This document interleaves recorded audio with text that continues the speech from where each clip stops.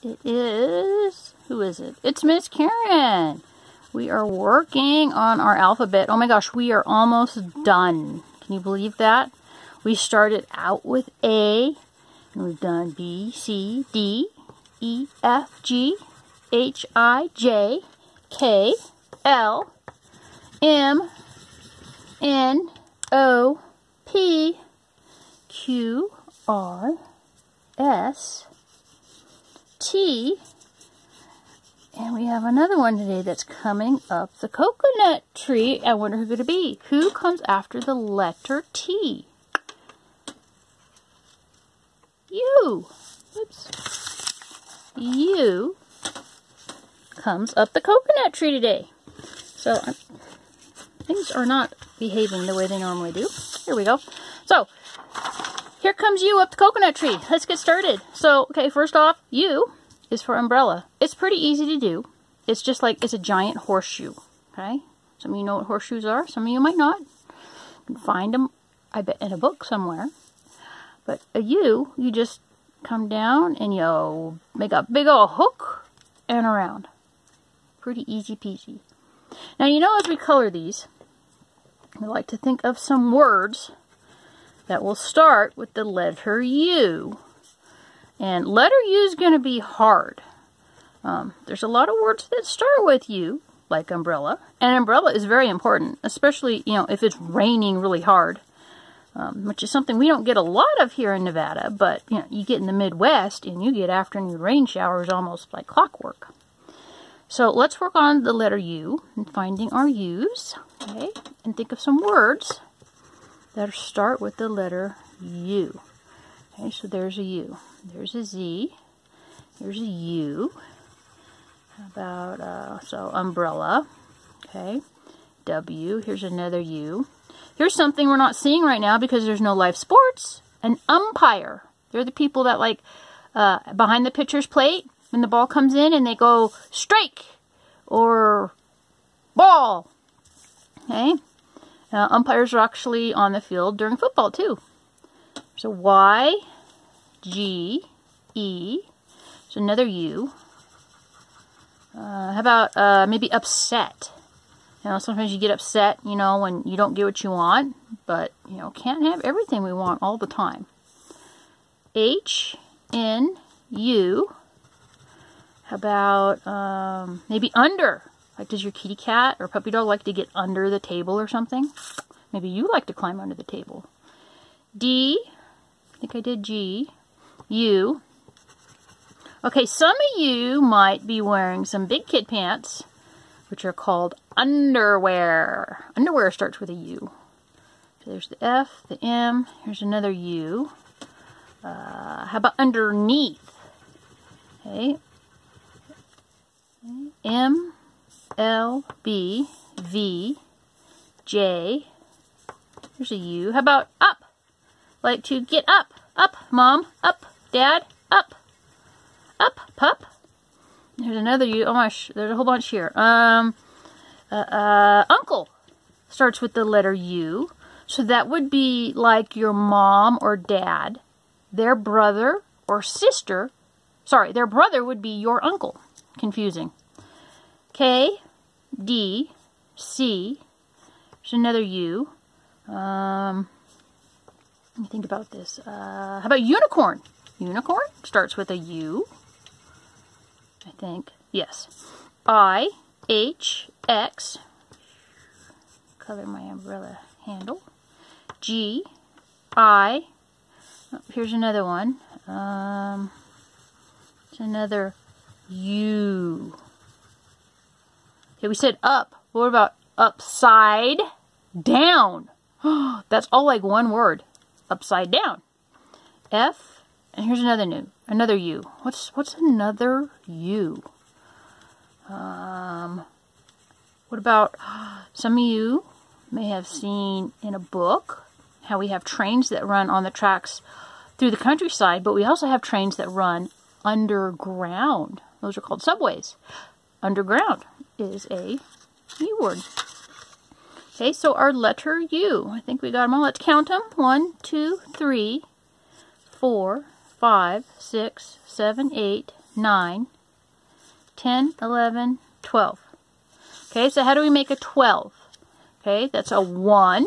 Okay, a 1 and a 2. And we've been working a little bit on some of our numbers as we've been doing some of these uh, letters the last couple of weeks. Okay, so 12. How much is 12? How many fingers are here? 5. How many fingers are here? 5. What's 5 and 5? Count your fingers if you can't figure it out. Hmm? 1, 2, 3, 4, 5, 6, 7, 8, 9, 10. Okay, so 10 fingers.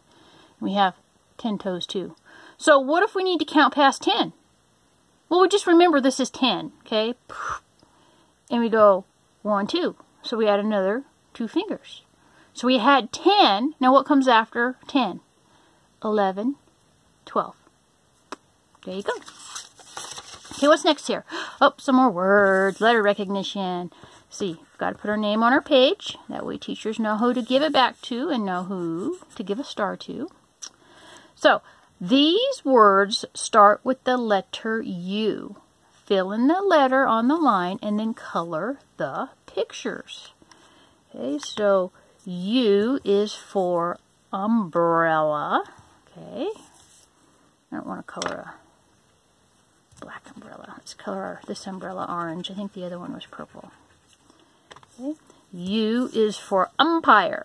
Remember, these are the people that would be sitting behind the plate and they're usually mostly dressed in black or sometimes the, the football ones, sometimes called referees, they'll be dressed in black and white. Their shirt might be have black and white stripes on it. Almost looks like a jailbird.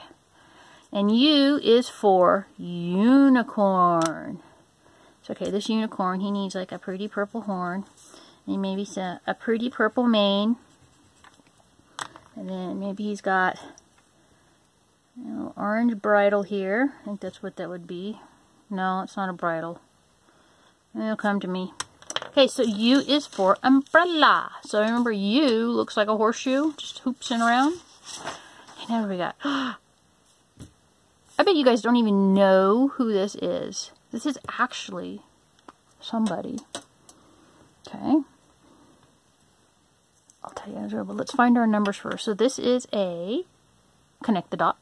Okay, so connect the dots are numbers. They can also be connect the letters. So let's see what this dinosaur has. This dinosaur has a name. I'll tell you in a minute, but let's find number one first.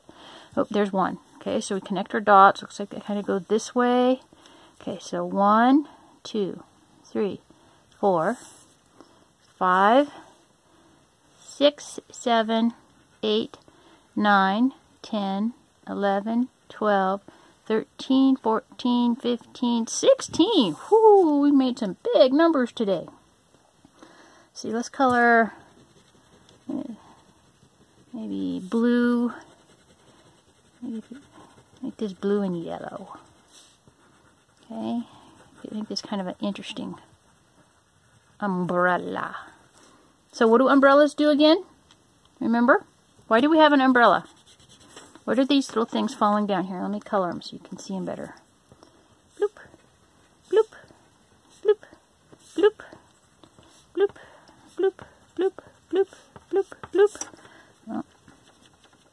here's a, a whole bunch of bloops that landed on the ground. That's one big splash.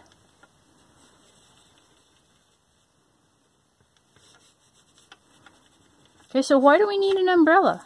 What what does it help us do? What does it protect us from? Yeah, it protects us from the rain. So if it's raining a whole bunch, you know, we'll get our umbrella and we'll open it up and we put it over our head and it'll help keep us dry. Now, if it's just a few drops, like sometimes we only get a few drops here in Nevada, yeah, it's not really worth opening umbrella.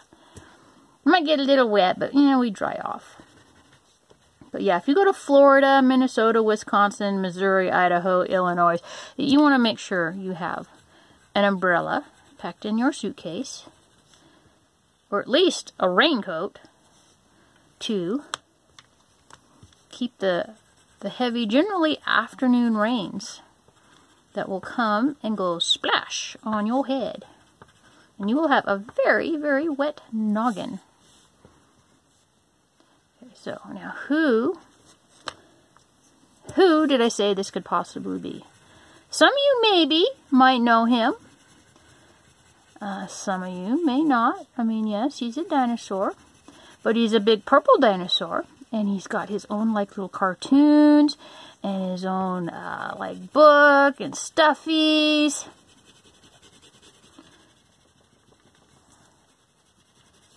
Oops, where's his tail? There's his tail.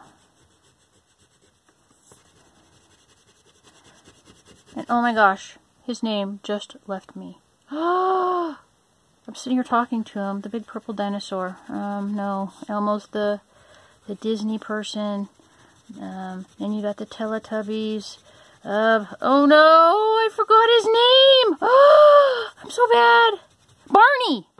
Barney, the purple dinosaur. That's who this is. Oh my gosh, I was having a premature senior moment. Don't keep track of those. Okay, so we got Barney, the purple dinosaur. He's really cute.